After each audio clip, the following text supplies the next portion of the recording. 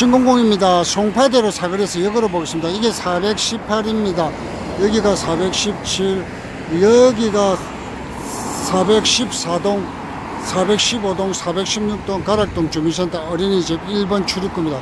저쪽으로 가면서 214, 215, 216, 217, 218, 저쪽에 111동 보이죠? 이렇게 이건 역으로 지금 보고 있습니다.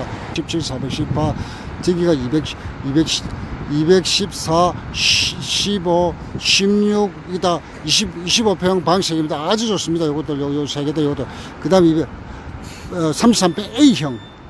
자, 217, 여기 219동입니다. 219동. 어, 33평짜리 다섯 개가 이렇게 쫙 배열되어 있습니다. 그 다음에 여기 210, 어, 어, 18동입니다. 18동 파워, 타워형입니다. 218동. 이 208동입니다. 208동. 여기가 이거 이제 109동입니다. 109동. 여기 112동. 112, 요 사이가 111, 어, 110동. 여기가 제-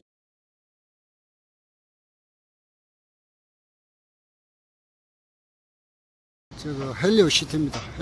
5단지부터 쫙 이거 3단지. 아 하늘 진짜 맑다. 3단지 앞에 공원.